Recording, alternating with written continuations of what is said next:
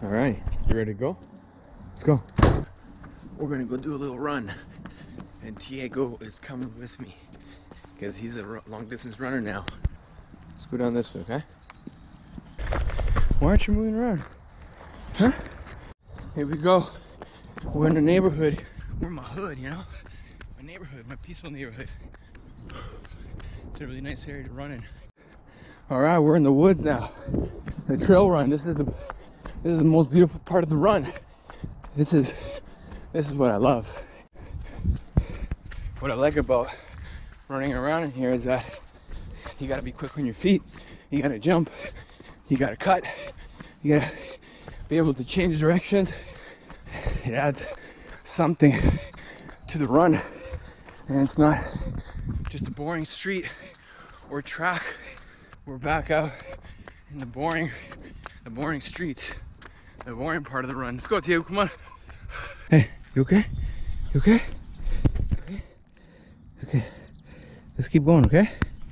Come on, man. Let's go. All right, we're back. We're back in the forest. Come on, Tiego. Let's go. Come on, Tiego. Let's go.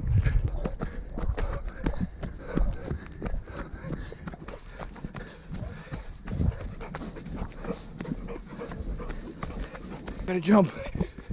Oh, jump here too.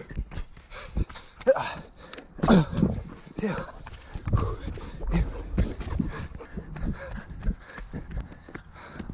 Oh, look at this.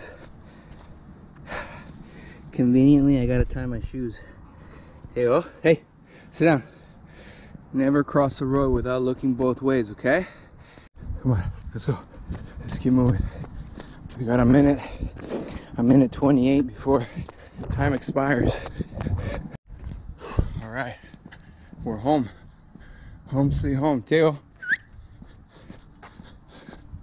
We made it. 38 minutes later.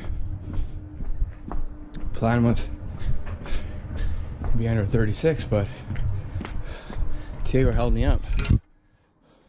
It's all Tiego's fault. We're home though. We're home. Go drink some water. Go. Go get some water. Go. Good boy, man. Good job, buddy.